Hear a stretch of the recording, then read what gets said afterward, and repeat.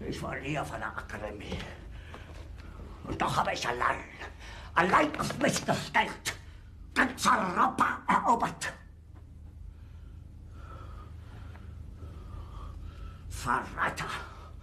Von allem Anfang an bin ich so verraten und betrogen worden. Es wurde ein ungeheurer Verrat geübt am deutschen Volke. Aber alle diese Verräter werden bezahlen.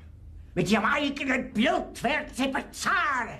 Sie werden es saufen in ihrem eigenen Blut. Bitte gerne. Jetzt beruhig dich doch.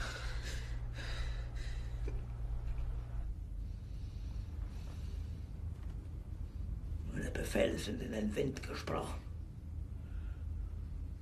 Es ist unmöglich, unter diesen Umständen zu führen. Es ist aus.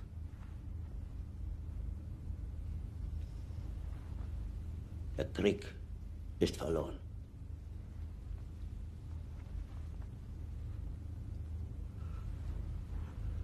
Aber wenn Sie, meine Herren, glauben, dass ich deswegen Berlin verlasse, irren Sie sich gewaltig. Eher jage ich mir eine Kugel durch den Kopf.